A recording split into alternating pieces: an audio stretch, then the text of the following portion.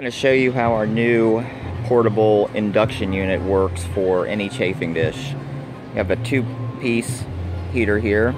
These are magnets. They will be attracted to this stainless steel plate that you put inside your water pan. You also have a control panel.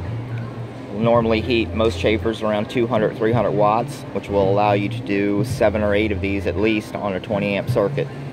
You also have a nine hour timer which is very compatible with uh, food service. Most inductions have an hour timer, maybe an hour and a half. You have to keep coming back and resetting it. So very simple. Put this plate in a water pan, steam table water pan, a chafing dish water pan, they're all the same.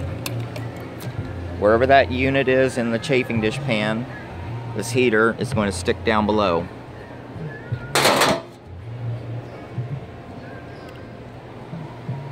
Add your water like you normally do.